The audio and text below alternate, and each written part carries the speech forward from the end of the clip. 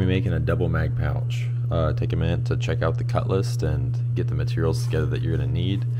Uh, inside this pouch should be able to fit like a 16 ounce water bottle. Uh, you can fit your radio, you can put obviously your two AR mags. So there's a really good variety of things that this pouch can uh, hold. So it's a pretty handy pouch to have. The first piece we're going to get to is the back piece. That's the 14 and a half by 4. What we're going to do to both ends is we're just going to fold them in towards the wrong side. See, this is the outside, this is the inside. We're going to fold them in towards the inside and sew along that line. Throughout this entire process, it's a good idea. If you burn off the ends of your thread as you go, it gives you a much cleaner look at the end and it'll keep your threads from uh, pulling out in the future. Next thing, we're going to take this, fold it uh, inside in, and we're going to run a stitch about a quarter inch from each edge down both edges leaving the top open. I'm going to turn this right side out.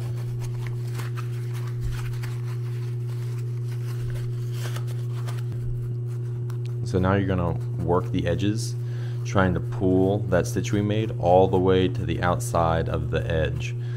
Uh, meaning that we want this to be laying flat. We don't want it to be a poofy pouch because this is going to be sewn flat in just a moment. So try to work it so that you can start to see your stitching inside there. You want to get these corners poked out as much as possible. Next we'll work on the flap. It's the 4x18 piece. We pretty much line it up inside out and you're going to do the same thing. Put a stitch down both sides and for this one you don't need to hem the top. Now take your 3 inch piece of uh, 2 inch velcro and you're going to place it lengthwise at the end of the strap. See here's the area we folded over and this area is open. Down here on this end is where we're going to place the piece of Velcro. It's always nice if you clip off the corners. Gives it a little bit better uh, fit and finish when you're done. And to hold this in place, we use a little bit of double-sided tape. Now take one of your 4-inch pieces of webbing, fold it over on itself, and slide it between the end of the flap and that piece of velcro that's going to create your pull tab. And that can be held in place with a little clip.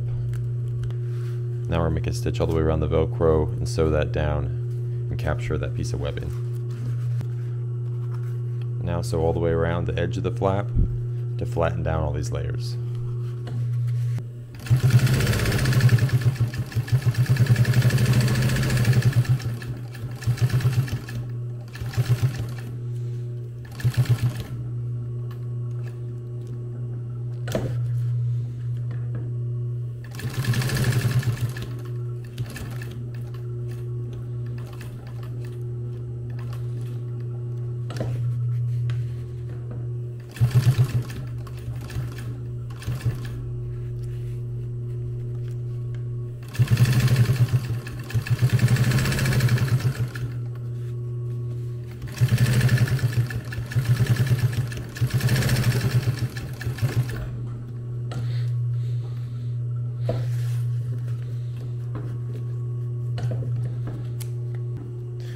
Now we're going to prepare our straps to mount it to molly.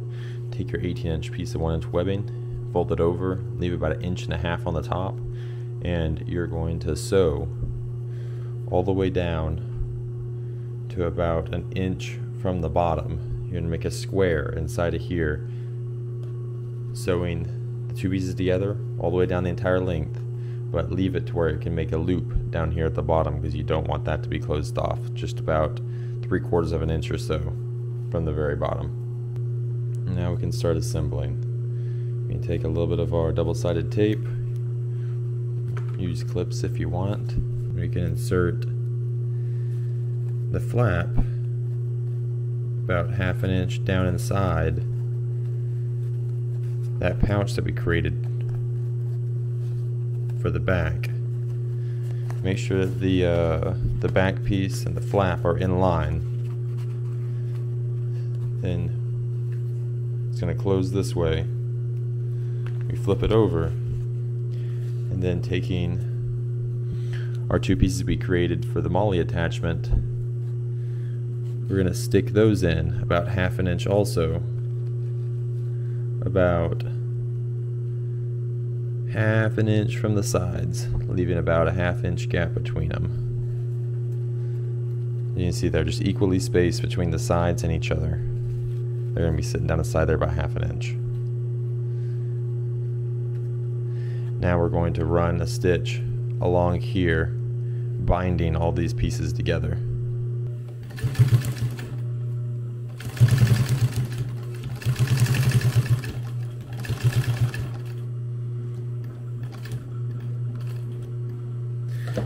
Then just come up a little bit and run a stitch right along the edge.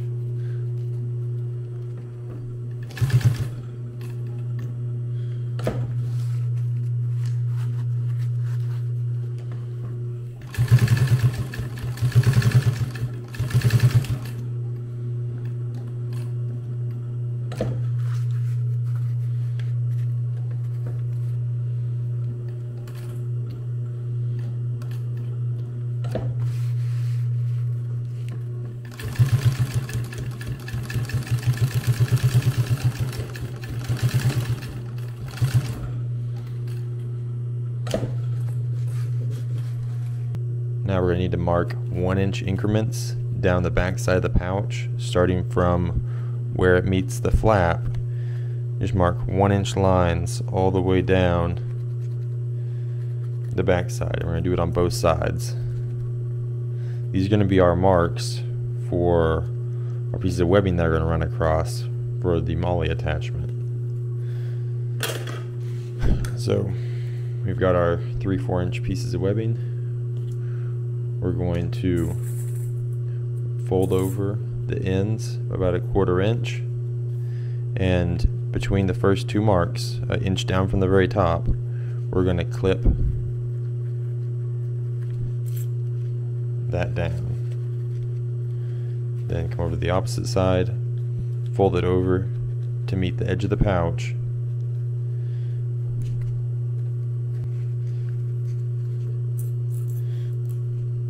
we're going to clip that down. We're going to do this all the way down the side, skipping and leaving gaps as we go. Now we're just going to sew all the way around the edge, sewing those strips of uh, webbing down, and then we're going to sew right up the middle.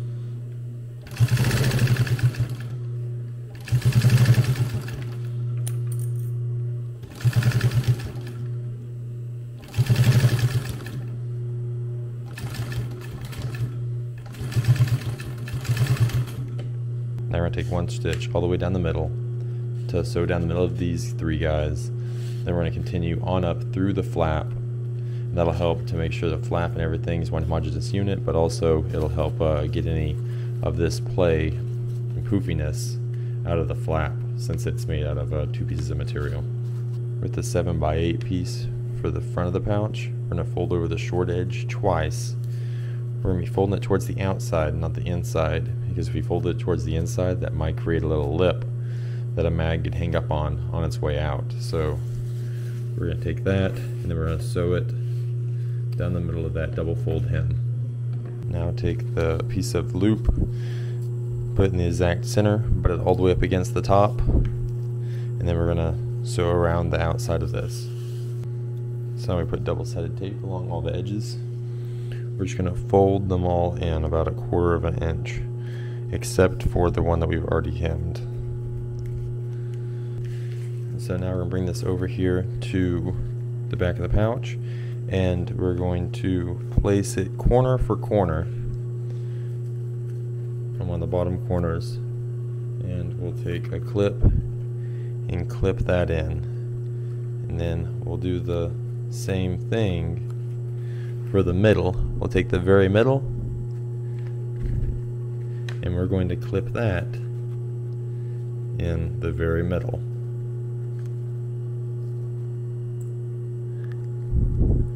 And then last corner we're going to come over here and we're going to go corner for corner. Match those up.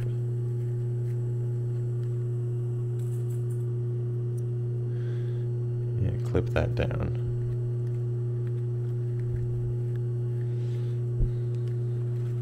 you're basically just trying to space this out to where you have about the same amount folded on each side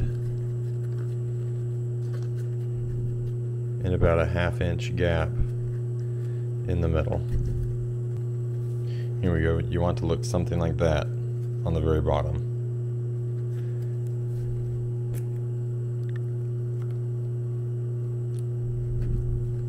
Now we're going to jump up to the top and we're going to pin the top edge of our pocket to where it's just below that first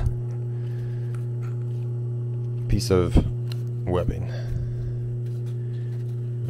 work our way down. And when we get closer to the bottom, we're going to do another tuck, just like we did a second ago.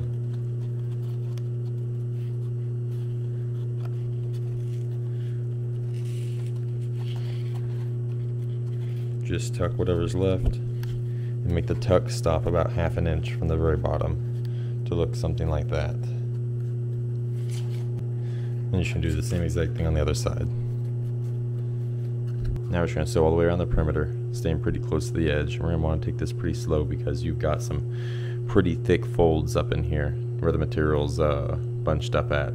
So might have to sew some parts of this by hand if you don't have a pretty heavy sewing machine.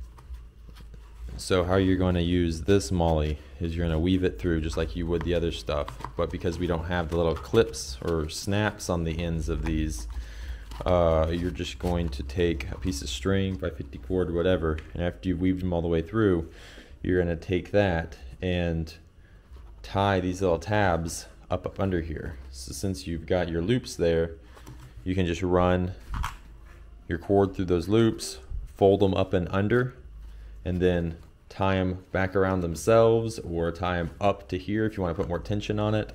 But basically just tie those up to where they aren't going to come out and that's how you're going to attach this to whatever kit you're going to use it on.